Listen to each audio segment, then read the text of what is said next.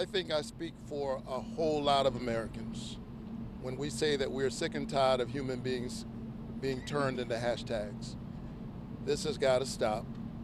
Uh, every parent who sends their young adult child off to drive uh, shouldn't have to worry if they're going to come back home safely.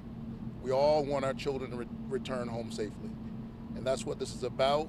Public safety for all communities because we understand that it is about the culture of policing and keeping all communities safe. And all of us should be able to agree that bad policing has no place in any American city or community. And so the Congressional Black Caucus uh, was here to talk to the president and to the vice president. We covered a number of important issues on our path forward.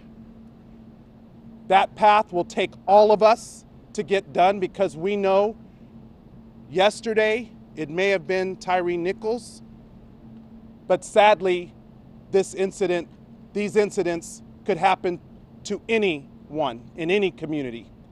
And that is why we were here to speak to the president and to the vice president uh, tonight.